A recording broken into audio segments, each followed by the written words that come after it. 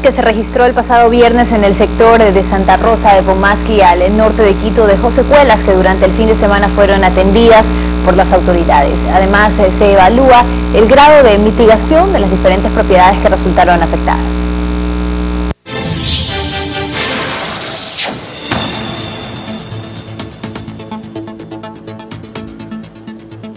El suelo flojo en estas montañas sobre el sector de Pomaski, donde funcionan canteras de las que se extrae material para la construcción, sumado a la pertinaz lluvia que cayó la tarde del viernes, produjeron una avalancha de lodo y rocas que destruyó, inundó y arrastró lo que se le ponía por delante. Debe darnos ya una solución el alcalde. No es primera vez, corremos peligro todito el barrio. Era una angustia, una desesperación estar ese momento viviendo y otra cosa conversar ahorita. Nos tocó salir por los techos y todo.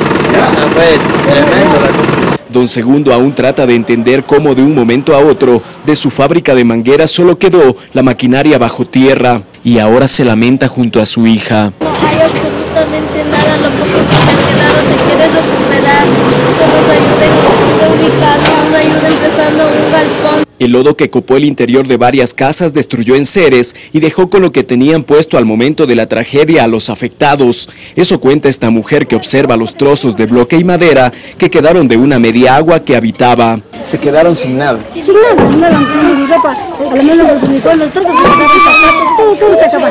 El sábado el alcalde Barrera visitó la zona devastada para tranquilizar a la ciudadanía que espera pronta ayuda. Ventajosamente no tenemos víctimas que lamentar, esto es lo más importante, lo más valioso.